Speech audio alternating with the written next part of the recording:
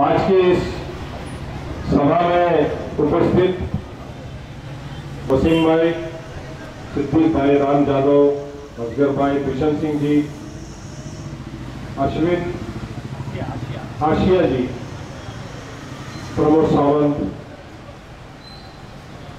सक्सेना जी, राहुल पारिक, उपस्थित सभी भाइयों, बहनों, दोस्तों। आप सब लोग जानते हैं कि ये सभा आने वाले विधानसभा के मद्देनजर रखी गई। जानते हैं, नहीं जानते? अरे ये इलेक्शन के लिए सभा है। ये जानते हैं आप लोग? कि नहीं? देखो, मुझे लगा कि तुम लोग, आप लोगों ने प्रमोद सावंत को घेराव डाला, इसके लिए बुलाया मुझे। आने वाले 21 अक्टूबर को विधानसभा का चुनाव होने जा रहा है। और ये चुनाव कांग्रेस पार्टी की तरफ़ से मैं लड़ने जा रहा हूँ। कितने लोग को मालूम है? सबको मालूम है। इधर से कम ताली हो गया और वो लोग तो हाथ बाँध के खड़े कुछ बोलते ही नहीं है। और मुहूर्त अच्छा निकला ममता स्वीट्स माँ की ममता और वो भी मीठी। और अभी हमारे पत्रकार मित्र यहाँ थे कहा गए। हाँ में तो मैं जैसे आया, बोले, देखिए, ये बूंद बूंद बरसात गिर रही है। इस इलाके से मुझे पर भाई, आपको ऐसे बरसात की तरह जो है वोट मिलने वाले अब मैं ये कहूँ कि मैंने 30-35 साल में क्या किया? बताने की ज़रूरत है क्या? तो फिर ये बताता हूँ कि मैं चुनाव क्यों लड़ रहा हूँ? ये ज़रूरी है ना मान, सुनना कि नहीं? इस शहर में जो भ्रष्टाचार बढ़ा है, भ्रष्टाचार बढ़ा है नहीं बढ़ा ये शहर में? मालूम है आप लोग को? अरे मालूम है, नहीं मालूम है? ये शहर में अन्याय बढ़ा है। अन्याय बढ़ा है, नहीं बढ़ा है? सुना ही नहीं आपने? बढ़ा है? पढ़ा है? आपने पढ़ा है क्या? मतलब अन्याय बढ़ा है, भ्रष्टाचार बढ़ा है इस शहर में, ये बात पता है नहीं आपको? तो इस अन्याय और भ्रष्टाचार को मिटाने के लिए, इसके खिलाफ में लड़ाई लड़ने के लिए मैं ये विधानसभा का चुनाव लड़ रहा हूँ। मैं दो बार आमदार रह चुका हूँ। आज पार्टी का प्रदेश कांग्रेस का कार्यकारी अध्यक्ष भी हूँ। ये शहर में हमने क्या किया है, ये आप सारे लोग जानते हो।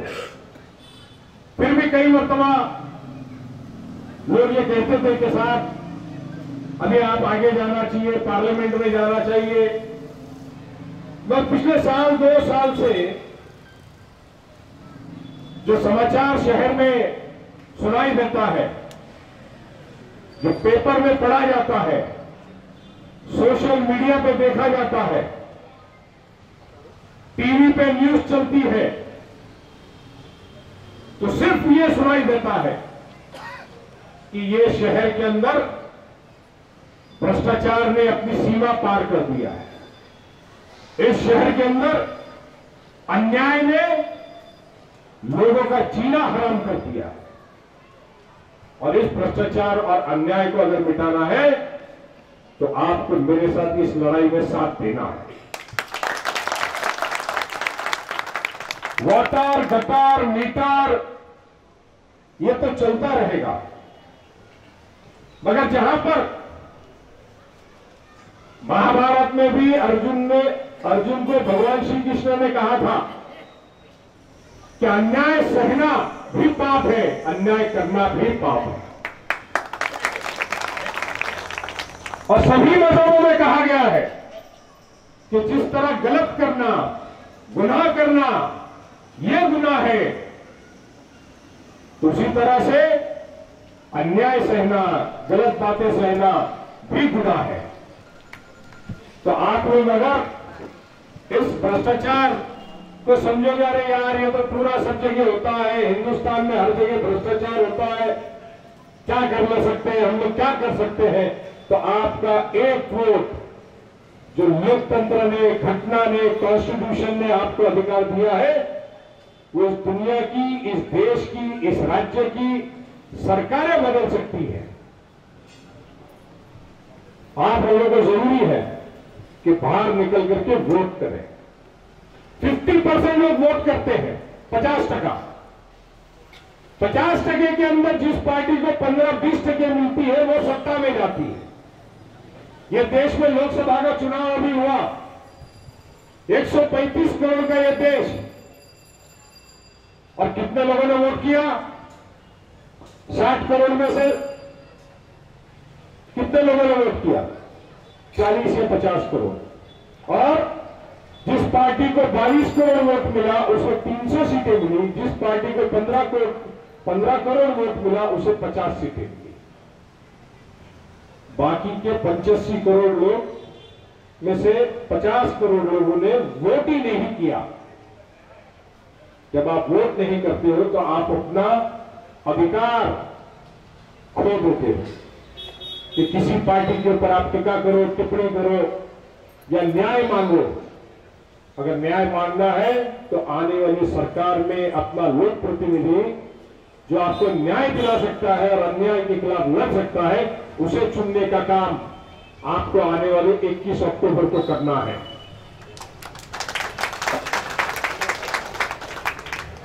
बहुत सारी बातें आएगी आपके सामने। बहुत सोशल मीडिया चलेंगे।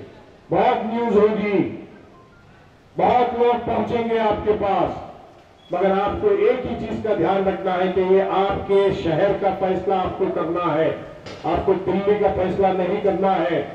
आपको आपके शहर का फैसला करना है। और आपके शहर का मुस्तबिल और भविष्य जो अच्छा बना सकता है, जिसने पिछले 30-35 साल में अच्छा बनाया है, उसको चुनना है कि पिछले पाँच साल में जिसने इस शहर के भविष्य को खराब किया है उसको चुनना है इसका फैसला आपको करना है क्या आप लोग सही फैसला करने के लिए तैयार हैं अरे दम नहीं है अभी खाना मुझे पता है आप लोग घर जाके भी खाना खाना बाकी है क्या आप लोग सही फैसला करने तैयार हो ये खाली कांग्रेस वालों की आवाज है जनरल पब्लिक की आवाज नहीं है जनरल पब्लिक मोहन भाई તમે બધા યાર જોરમાં ભાષણ નથી આપી અહીંયા જોરમાં ભાષણ આપવું પડશે તમને એકદમ જોરમાં બધા પટેલ ભાઈને આપણે પકડીને લઈ આવવું પડશે પાછળ હા બધા અહીંયાથી અહીંયા જાતા રહે છે તમે બધાને પકડી લઈ આવો तो आप सब लोगों का मैं